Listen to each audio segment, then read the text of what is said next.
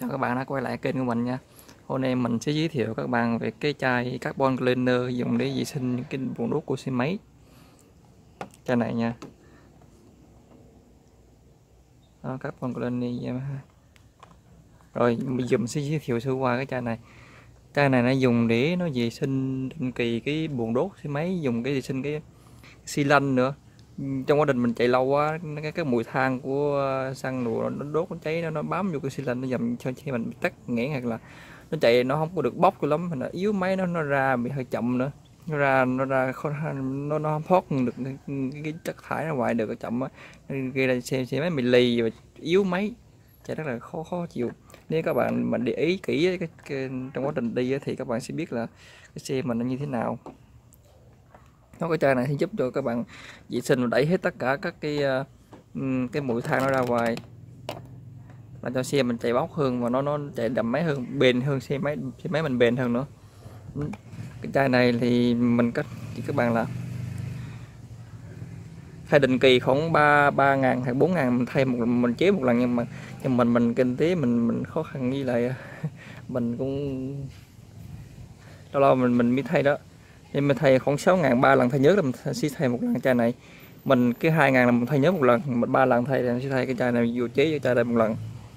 Cái chai này á, là nó nhìn kỹ này nó nó có hướng dẫn là phải đổ đầy cái bình vào bình là, là khoảng ba lít rưỡi đến 5 lít nha các bạn mà bạn mới thay được cái chai này đổ đổ đầy bình chế chế cái chai này vô.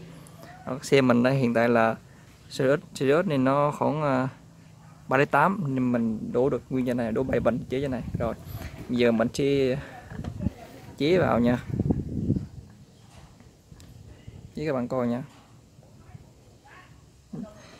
Hướng dẫn khi, khi mở chai này lúc trước mình không biết mở sao mở lâu khó lắm.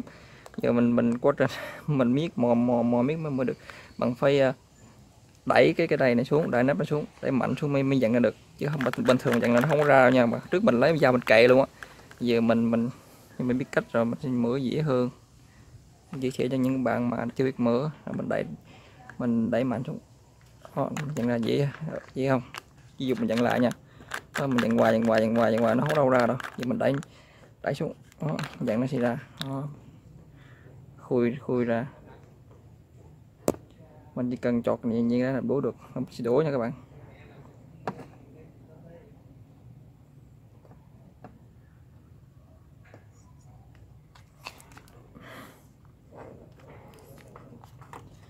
Mình sau khi mình thay chế chai này vô giờ mình sẽ đi thay nhớt luôn. Thay nhớt xe mà tới cũng đã định kỳ thay nhớt rồi. Mình thay luôn cho các bạn xem luôn. Đó. mình trọt đây, dứt mình trọt nhẹ này ra. Cẩn thận đừng có dân vô mắt cái này nó nguy hiểm lắm á. Nó ghi là cấm cấm để tiếp xúc vào da hoặc là tránh dân vào mắt á. Nên thấy cái nguy hiểm mình chế cẩn thận một xíu.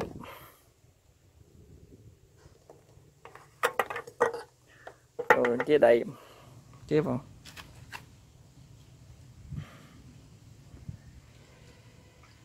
Cái nước nó màu trắng màu trong là phải trắng các bạn ạ. À. màu trong nước trong. Nó chế đầy vô.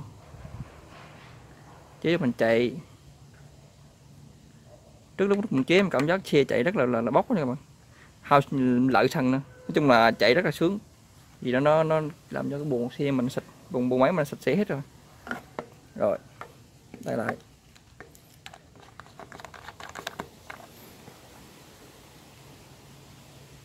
Rồi. Nó đâu có gì khó khăn đâu không bạn rồi, rất là dễ. Đây nắm lại. Cứ vậy thôi, bình thường. Cái chế xong rồi để cho nó nó nó nó hòa tan cái xăng của mình xong rồi đó mình chạy thôi bình thường thôi.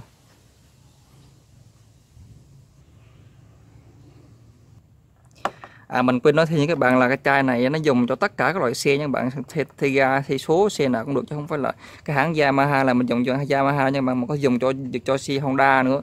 Mà xe Tiga cũng được nó dùng cho, cho tất cả các loại xe. Quên nói vụ nữa chứ. Này đây sản xuất ở USA rồi giờ mình đi uh, thay nhớt đây.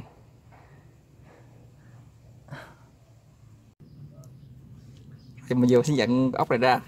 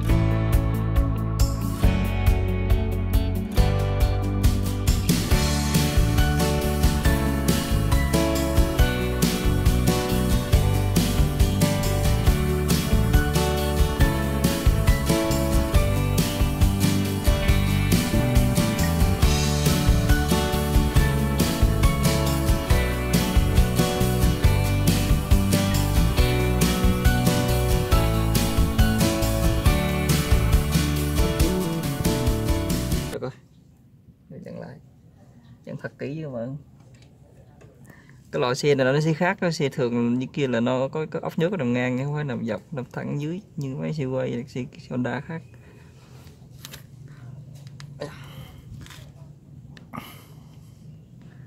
Rồi.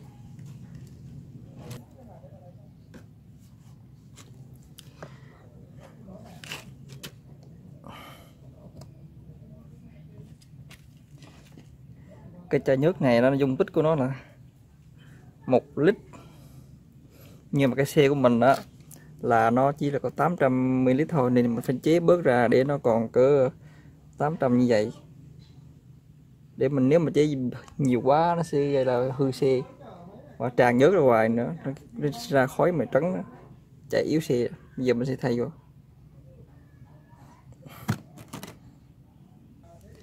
Rồi, giờ mình sẽ qua bên đây để cách nhận biết ờ, nhớt xe mình bao nhiêu lít đó mình sẽ nhìn trong cái thông số của nhớt trong nắp nắp nắp nắp nhớt này nha các bạn.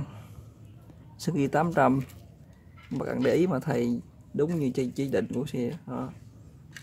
nó có ghi chữ 800 trên này nè.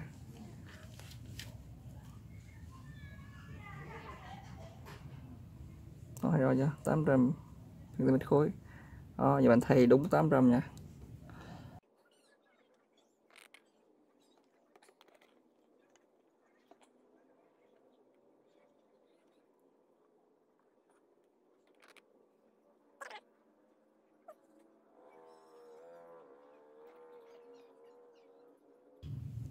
Xe này định định kỳ như xe mới thì định kỳ không hai ngày mình thay một lần. Còn xe mà xe đã đi lâu rồi thì, thì đi khoảng 4 ngàn một thay hoặc 3 ngàn một thay để cho tiết kiệm. Tiết kiệm bước tiền của em đặt trên đây cha đây khoảng 100 ngày xưa trăm rưỡi trên mạng giờ nó lên tận giá khoảng trăm bảy trăm tám rồi. Nhưng mua tiệm thì khoảng hai trăm rưỡi các bạn. Để mình biết đặt hàng trên mạng mình đặt cho tiết kiệm bớt tuần 31 nói là 100 181 là đi xe nó sẽ tốt hơn so với loại bán tổng hợp.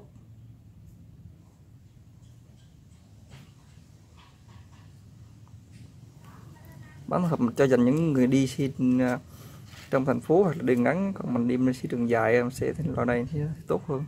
Máy nó sẽ bóc hơn. Rồi rồi mình sẽ đo cái mức mức độ của cái kim sang cái kim nhớt thế nào nhé. Nếu nằm trên giữa thì nó sẽ là ok.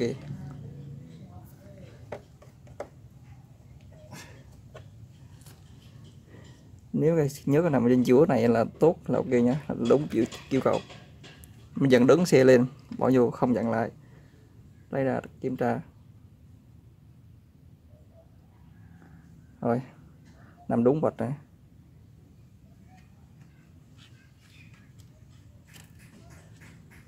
Để coi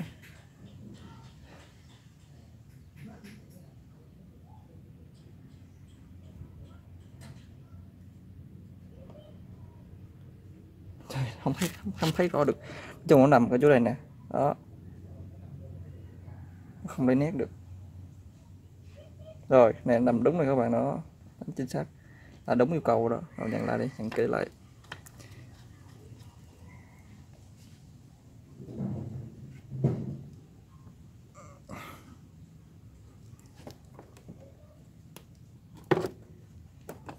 Chuỗi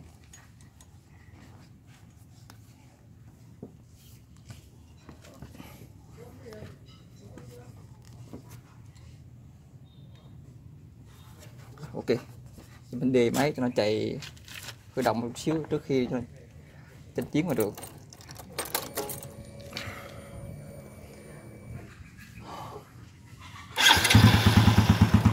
Rồi, ok. Chúc các bạn thành công nha.